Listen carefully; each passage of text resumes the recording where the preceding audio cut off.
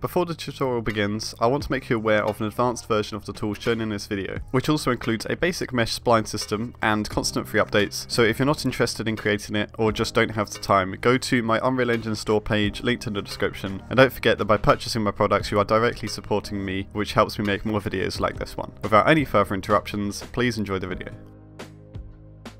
To get started, we're going to want to create a blueprint class, and it's going to be an actor measurement spline.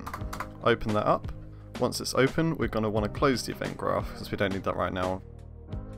Right, so if you're not familiar with the construction script, this is basically just uh, an event that fires every time the uh, asset is updated. So say you were to click on the spline uh, or move it around, that'll update this, which will fire. So first thing we're going to want to do is check whether we actually want to use the measurement system. So we might not want it on all the time. So we're going to check a boolean value uh, and say if it's true. So this is going to be a variable. We're going to call this, uh, let's promote to variable, and call it toggle measurements. It's going to be instance editable.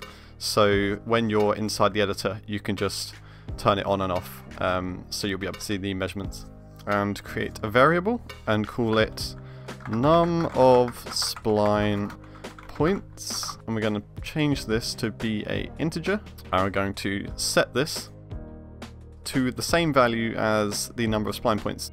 First we're going to need to add the spline component. Drag that in so it gets a reference to it and go get num number of spline points and then we can literally plop this straight into here and that just sets this variable up so we can use this later down the line without having to keep doing this same code. So next we're going to want to loop through our number of spline points. For loop. Just drag this out and just plug it into that. So next we're going to want to create a variable for the current point index. We'll go index and say promote variable and call it current point index. Plug that into the loop body and now we want to check that there are actually more spline points to uh, create text for. Get current point index.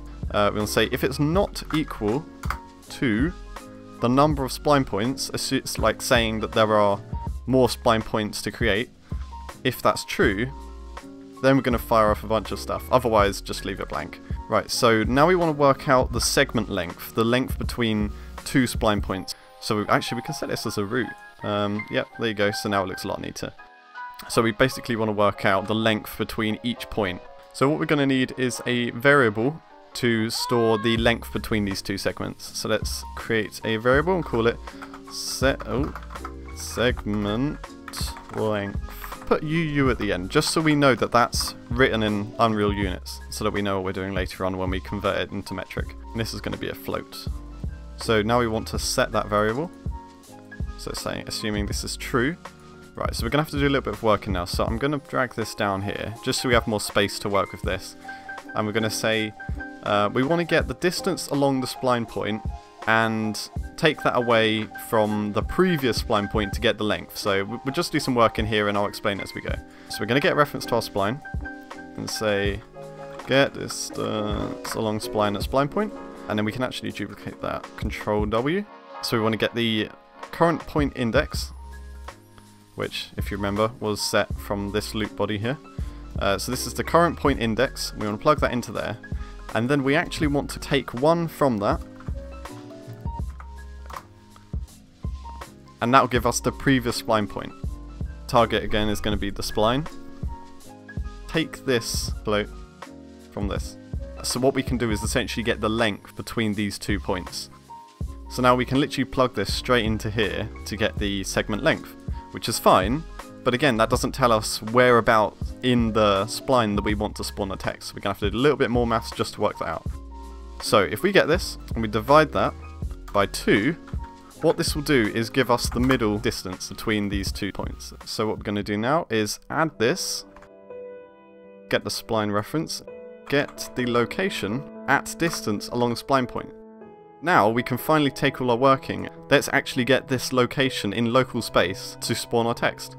Distance. And there we go. So that that's ready. So what we're going to do is introduce a text vertical offset so that if the text is too low, we can manually adjust the height of that in case it's merging through something or it's just too low. So what we're going to do is create a variable and call it text vertical offset. So by default we're going to set this to 5. It's a nice distance above the ground. So what we're going to want to do with this is actually add it to our output vector here. We can split the struct pin. Because we're only changing the vertical offset, we only want the z axis. So we're going to go plus our text vertical offset, add these two together, and then we want to recombine this, this vector. Make vector. I'm going to plug the Z into here, X and Y, lovely. And so now we can actually finally add our text render component. We drag off of here and add text render component. We need to split our struct pin again, plug our location here into the location slot. However, now we're going to need a separate texture material because no text by default faces the camera, so we're going to have to customize our own. So if we go back into the main editor here, right click and create a material. We're just going to call this text facing screen. Right, so let's open this up, create a 3 vector. Uh, so this is going to be the main color of the text. We're just going to plug this into the base and emissive color. So it's going to be a plain white. You can change it to whatever color you fancy but I'm just going to leave it white. we also want to create a font sample. So now we can select the font that we want to use. Now these are visible for me by default, but you might have to do options and show engine content if the default fonts don't appear for you. So the one we're going to be using is Roboto Distance Field, which seems to work best for this case, which we are going to plug straight into a linear interpolate, plug in the alpha into the font alpha. Constant A is going to be minus 90, constant B is going to be 90. This defines the text from the background. So select the output here and choose blend mode, so that's got to be masked. And we're going to choose the opacity mask to be our lerp. Right, so for the world position offset, align mesh to the camera. Lovely jubbly. Now we don't want it to plug into that, we want world position offset. So these two are the same values here. And then we want to create three, three vectors. Uh, we don't need to show up these because they're not going to be used for their color values, so we can just hide them so the first one's going to have a blue value of 1, the second one is going to have a red value of 1, and the third one is going to have a green value of minus 1. Let's plug these into the custom object basis. And there we go, that's it, that's all done. We don't need to do anything else for that. We can apply that and save it. What you should notice now is if you move the camera around, the text follows you. Back over to our measurement spline, and what we're going to want to do is create a reference for this text. So we're going to go promote to variable, and we're going to call this text ref. So this is just so we can refer back to it. First of all, we're going to want to set its absolute position, so that way it doesn't wiggle around when we move the object. So we'll go set absolute, new absolute rotation. So what we want to check is that when we've added our text render component that we actually have selected the correct material.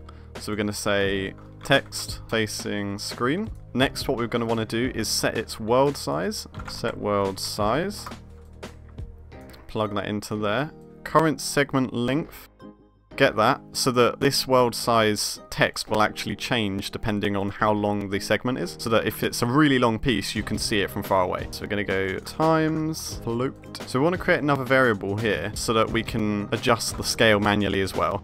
Default size multiplier. Plug this into here and set its default value. So you have to compile it to set the default value of a variable. So we want to set this to 0.05. This just seems to work best for the scale of the spline. And we just want to plug this straight into the value input of the world size node. Right, so next we're going to want to use an enumeration just in case you added more measurement systems in the future. So we're going to go back over to our main editor, right click, blueprints, enumeration. We're just going to call this unit types.